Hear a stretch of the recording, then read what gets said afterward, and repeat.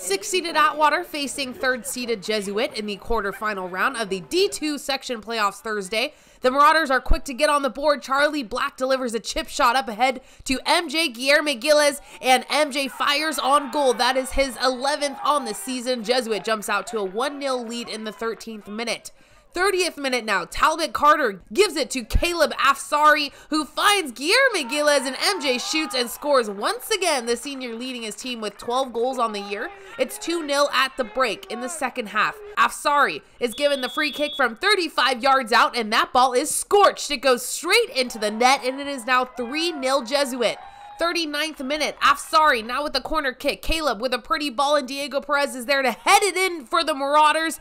Jesuit losing in the quarterfinals last year in PKs looks like they are back with a vengeance. Now Atwater looking to salvage their season. The free kick from Angel Villegas goes straight into the hands of Andrew Perry. Jesuit tacks on one more goal. Great move here from Atwater's Grayson Soto. The ball is stolen back though by Perez. Diego goes in with his left. Lucas Kim is there to put it away with his left, and Jesuit moves on to the semifinals with the 5 0 win over Atwater. Guillermo Gilles with two goals in the match.